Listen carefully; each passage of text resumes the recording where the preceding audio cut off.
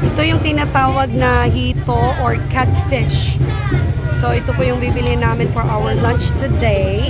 And also, ay, tumatalon pa yan eh. Ayan o. Di ba tatalon yan? Ay, grabe. Oh, okay. Tapos, ito yung tinatawag. Oh my gosh! Oh, tumalon talaga. As in, tumalon. Tapos, ito yung bisukol na tinatawag. Gosh, look at that. Okay, so ito po yung magiging lunch pa namin today. So, ito na po yung isang bag. Magkano po?